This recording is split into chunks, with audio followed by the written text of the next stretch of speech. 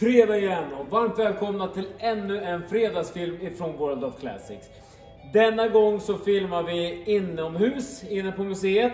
Vädret är inte så jättetrevligt faktiskt, men eh, det är ju ganska kallt och, och ja, sådär. Så man känner att det är ganska mysigt att vara här inne och filma faktiskt. Eh, idag så kommer vi att köra en eh, hel eh, helomvändning från det vi gjorde sist och det var ju då en, en Dodge Charger och det var ju då från Mopar. Så nu idag så passar vi på att köra en annan typ av muskelbil ifrån GM, General Motors program och närmare bestämt då ett märke som heter Oldsmobile. Och Oldsmobile har ju en lång historia och de har dessutom fått motverka sitt eget namn flertalet gånger, även i då reklam och affischer och så vidare. Där man skrev att Oldsmobile is a very young mobil. För att motverka då att man heter gammal bil i sitt märke. Eh, den bilen som vi ska göra idag det är den 1972 eh, Oldsmobile Cutlass Supreme. Och det här är lite special för att det finns ju då vanlig Cutlass och det finns en massa olika modeller. Det finns F85 och det finns en massa olika. Men eh, inom då Cutlassen så är Supremen det som är den högsta då. Det är top of the line inom Cutlass. Och eh, Cutlass Supreme har lite andra detaljer också som utmärker dem. Eh, man har också en eh, i det här fallet då valt och eh, köpt den med en 455. Så det här sitter alltså en 455 cubic inches Big Block. Den fanns i lite olika options-varianter då 1972. Det var inte lika mycket hästar som det var 1970 till exempel. Men det är i alla fall ganska så mycket ändå. Och det är ju bara så att man har ju smugglat ner dem oftast så att det går ju att lösa det där med relativt enkla medel ändå skulle jag säga. Eh, man har då eh, 1972 när man gick in och köpte sin den här bilen. Då fick man då Cutlass Supremen i två dörrars.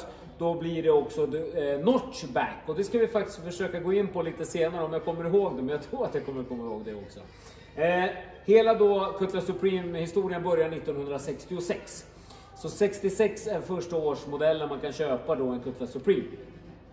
Sen så eh, tillverkar man då från och med 1966 ända fram till 1997. Så det är alltså 31 års tillverkning som man håller på med de här Cutlass Supremerna.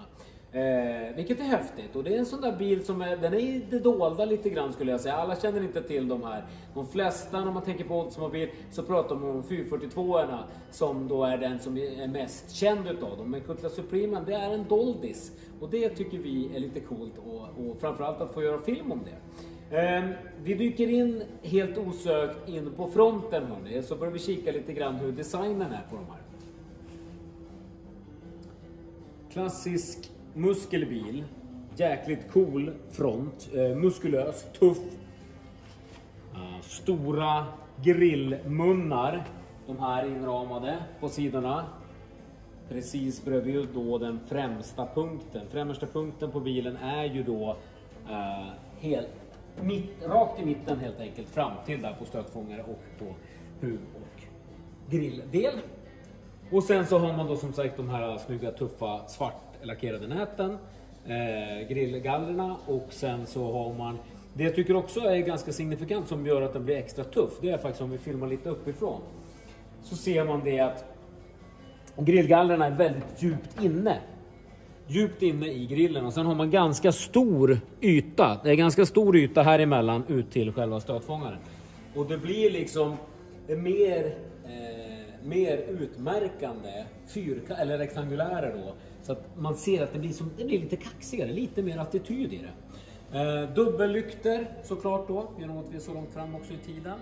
Eh, man har de här positionsljusen där nere, de runda. Det är coolt faktiskt att de har tagit runda just för att det brukar vara rektangulära positionsljus. Och i det här fallet så blir det ju att det smälter ihop väldigt bra med då strålkastarna. Så att jag tycker det där var, var coolt att de gjorde så. Oldsmobilmärket har vi här sitter på fronten. Och I det här fallet så har man fått en liten då också utmärkande detalj i form av att man har valt att lacka huven svart. Så att man får då en guldfärgad bil och sen svart huv. Och sen har man också de här Ramair-insugerna då så att man har de här eh, kanalerna i huven som släpper in luft eh, rätt in i maskineriet. Så vi öppnar på huven gör vi. Och här då så leds det i, jag vet inte hur bra det syns på kameran, men det är kanaler. Så att filmar vi härifrån så tror jag att man ser dem. Så här är ytterkant på kanalen och sen så går den då hela vägen bort till att i den stora runden då som man släpper ner och då slutar den, ska sluta tätt över luftburken. I det här fallet sitter en edelbrock triangelformad luftburk. Ja, smakfullt det med. Smakade som baken. Bromsservo, styrservo ehm, och då som sagt den här 455an som är jäkligt rå. Ball maskin, eh, går utav helskotta gör den. Bra, bra klös. Eh, otroligt högt vridmoment i sådana här byggblockare. Så att den är riktigt tuff. Eh, ligger på någonstans runt 270 hästar original då, 72. Eh, I det här fallet har man också valt att sätta aluminiumkylare. Eh, vilket är bra för temperaturregleringen, det vet vi och det har vi lärt oss i efterhand. Så, ah, riktigt, riktigt tuff. Eh, den här bilen också då, eh, body code, alltså om man dekodar själva bodybrickorna. Så har man då 3 och sen är det 42, 57 och trean står ju då för Oldsmobile Division. Och sen 42, 57 då har man då Supreme, Cutlass Supreme. Eh, så att de har en egen bodycode, precis som egentligen alla de bilarna. Alla bilar som GM gjorde där och då hade ju en egen då bodycode, en förklaring. Det här är den eh, karossen, den bilen vi bygger. Bra, vi eh, sveper längs sidan. Vi fokuserar på fram, eh, partiet, framhjulet också, ska vi titta på. Snygga fälgar. Eh, där det är lite blandat. Själva kromringen runt är ju kromad och glansig. Och även navkapsel, eh, eller själva kapsellocket mitt på är också det. Men sen är det matt. Eh, själva, själva fälgen är matt. Och sen har vi Kutlas-texten där borta.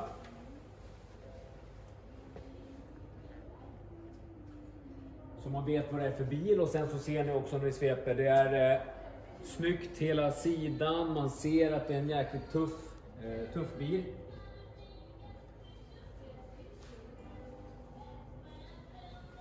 Inredningen är skitcool och det här är Trim Code 1972 då så är det här Trim Code eh, 970. Så 970 det är ju då svart och det står det på brickan också på den här bilen. Så Black Interior.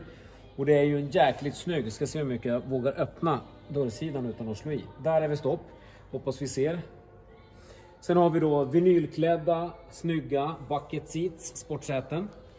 Och sen så är det då golvkonsol, golvspak i mitten ser ni där. Och sen är ju Oldsmobile, eller var, väldigt bra på att sätta in trä i sina bilar. Så det är väldigt coola. Jag tycker knopparna på de där är jäkligt balla. För att det är den här träknoppen. Ser också väldigt exklusivt som en bowlingboll i, i miniatyr. Lite grann snickrat, vi har lite extra mätare i den här bilen. I övrigt så är det runda sportinstrument då. Och här har man också trä. Nedanför handskfacket står det Cutlass Supreme. Så där är själva texten, logotypen för den bilen. Ja, till och med, nu ligger en, en vit papp, eh, papp där, men Cutlass står det till och med på golvmattorna. Jag tror att det syns! Där!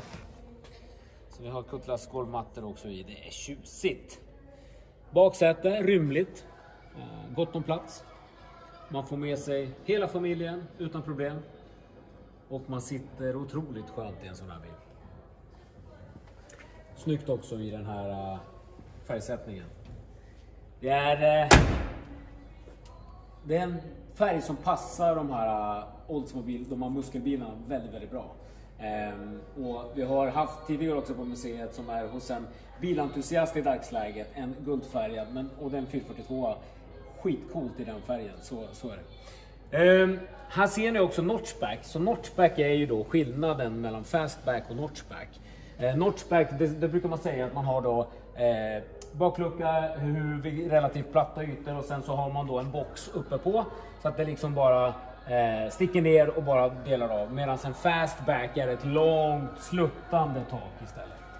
Så att eh, Oldsmobile kallade det för notchback och ja, då gör vi det också. Och sen så har vi baktill där. Jag ska faktiskt smita förbi så ska jag ta och tända baklyktorna för att de är jäkligt palla, för de är så udda också. Det tycker jag är kul. Det är lite roligt med baklyktor som är lite udda. De här är helt egna.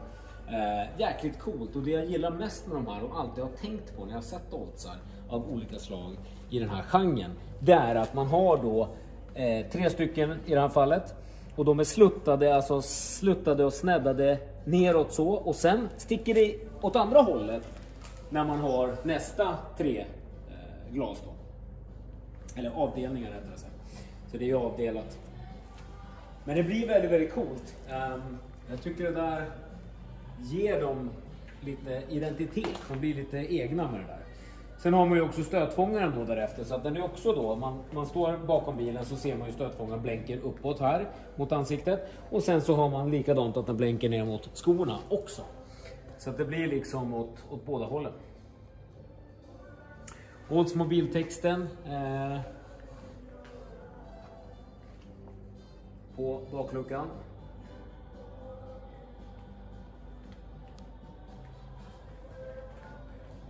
Jäkligt balla. Men det är väl ändå, när man har då en 455 en Big Block maskin, så är det ju på sin plats att man startar upp den så man får höra det härliga gurgliga ljudet som Big Blockaren har. Ehm, det, det, låter skönt, men eh, jag går och startar så får ni lyssna på egen hand. Utan att jag beskriver ljudet, utan det är bättre att höra ljudet.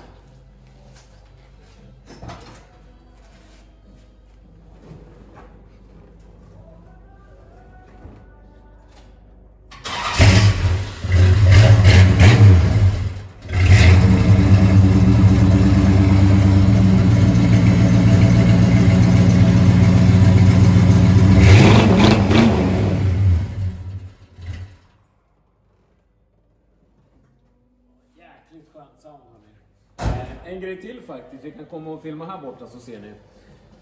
Här har man också då när man har Cutlass Supreme så har man de här CS-logotyperna på C-stolpen längst bak där. Så att det är också en signifikant grej då för just Cutlass Supreme.